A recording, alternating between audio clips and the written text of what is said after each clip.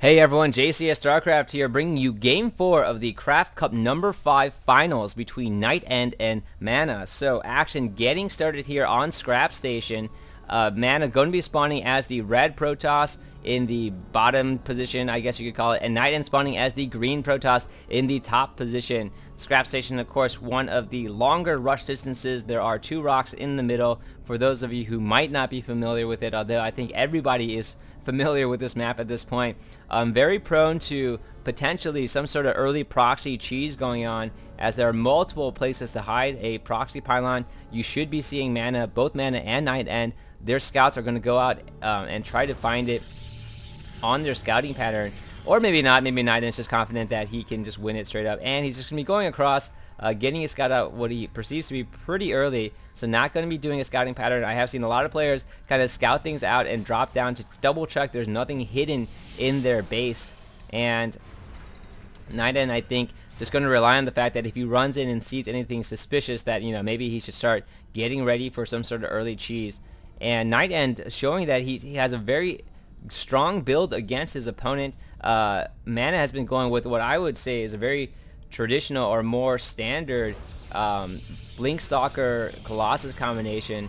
Uh, but meanwhile, End has been really pushing for the Charge Lot Immortal combination with Phoenixes to support and really has been winning a lot of decisive battles, pretty even army battles, but it just seems like those Phoenixes are making a huge difference as they are able to not only draw fire away from the Stalkers who have to take them down because the Colossus can't hit them at all, or they um, and they also provide, the Phoenixes also provide excellent scouting for Night End. Doesn't really need observers. Um, can just kind of fly around, pick off uh, his opponent's uh, probe line, and also eke out small economic advantages as well. So it looks like uh, Mana going to be dropping down that proxy pylon right here, uh, of course, and should be pretty interesting to see if that's going to work out for him. Uh, just running in right there and pretending like it never happened. Ho-hum, he's now going to come in and harass and hopefully distract his opponent as well. Uh, should be interesting to see whether or not Night End is going to try to scout that out and run around with the Zealot to scout around his base for that proxy pylon. So Mana going with a very standard build as well. Cybernetics Core going down. Going to try to get that uh, 3-gate Robo or 4, possibly even a 4-gate Robo right now if he is throwing down that early pro proxy pylon. And, and there is a little bit of lag going on, I guess. A lot of lag going in most of the servers, one of the big complaints about the weekly cups, unfortunately, has been the amount of lag in each game. So sometimes played by that game here as well. Uh, so if you want to see lag-free games, I definitely say check out the MLG games being broadcast, I think, or were originally broadcast by Husky, HD, um, Day9, and now being re uh, being uploaded by SC2Cast.com on their YouTube channel. A lot of very interesting play. Um, I'm, I'm not sure if... Uh, I don't know if Night End was in that tournament or not. I actually don't think that he was, considering that he's playing this game, the Craft Cup, which I think was held actually during the MLG. So I'm not sure what kind of Protoss play was going there. I'm trying to go through all those games as well.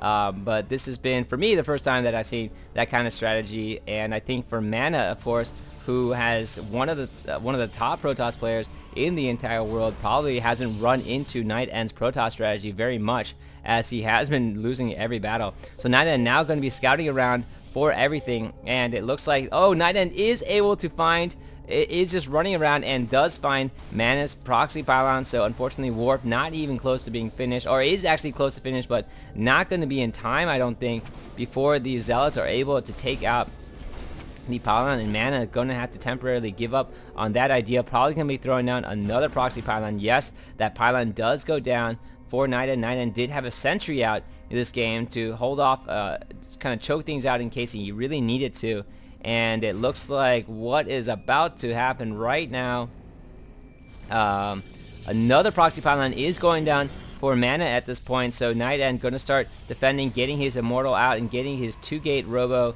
uh, probably going to be throwing down that Stargate and getting the Phoenixes yet again. So trying to get out his units as soon as possible. Is warping research yes it is for him as well. And now it looks like mana going to be pushing in with what looks like a four gate so going to be four gating in through uh, through the right now, and will Night End have enough at this point to really hold things off uh, really has only maybe a few force fields to hold things down for him. Getting out another Sentry, which will be very critical in this battle if he can get it off. Looking at the army tab, both players are pretty even, although Mana does have a significant number more Stalkers out onto the field, throwing down yet another proxy pylon there as well. And this is going to be very interesting uh, it, to see if Night End can hold this off. Multiple force fields are going down. Um, free shots on that Immortal. The Immortal trying its very best is able just to take up barely one of the Stalkers. And Mana's force is now being driven into the corner. Unfortunately, going to be unable to kite for a while. So multiple Stalkers now coming out for Night End. Which I, he's being forced to make Stalkers. Probably not so thrilled about that. And unfortunately, it looks like what is going on down here, more units are being reinforced. Uh, there are two proxy pylons going down, but Night End uh, barely surviving with this Immortal, uh, really wants to let the shields recharge, moving it to the back as he tries to micro away and just try to pump out as many Immortals as possible. Uh, I think very interesting as I, I don't think I've seen very many Stalkers from Night End this entire game, but finally being forced to pump some out as his opponent is doing a very uh, good four-gate push on him and running in here to take out the one of the proxy pylons uh, going to be pushing down and probably going to be able to take out this force as well. So Night End actually up a pretty decent amount, 64 to 47. Um, his forces are streaming in from behind and going to be retreating while he bulks up and waits for this third Immortal to join join the field. Uh, multiple force fields are going down to try to hold off the Stalkers from running away and Mana is going to lose this pretty badly at this point, so probably has to give up on this proxy strategy. Going to be losing yet another proxy pylon, and just trying to warp in as many units and kind of reinforce. He does not, unfortunately, have the same tech pattern um, as uh, Night End, who did already get his Robo Bait down. So this two-gate Robo, a very potent combination against the four-gate. The Stargate about to be thrown down as well. And unfortunately for this game, I'm I'm starting to think that well, I hit a button and I look I'm looking at Night End's camera right now. Sorry about that. Um, unfortunately for this game, uh, I think I hit S or I hit two. Uh, sorry about that. Uh, it looks like uh, Mana not going to be caught in a good position right now. And Night End just pushing in.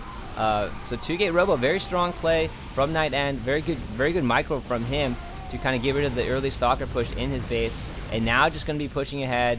Uh, mana forced to retreat and get out of there, pulling off all his probes to do some sort of damage against his opponent, but I just think this is not going to be enough. Phoenixes are already coming in, Graviton Beam holding it up for no reason, just to show that it can, um, trying to take one force out, but it looks like Mana just losing a ton of his units, um, forced to pull off some probes, and while that might hold out in the short run, while it looks like he is able to finally defend, um, but does give, doesn't really enjoy PvP as much, um, although I do have to give it to Night End, this wasn't a mirror match, this wasn't just a purely micro game. Night End stuck to his build and had a very effective build against his opponent. Uh, Mana even trying to four-gate in this last game to win, but Night End still coming out ahead. So props to Night End, wins back-to-back Craft Cups, a very, a very formidable opponent to go up against. I would love to see more of his play, and this has been JCS StarCraft signing off.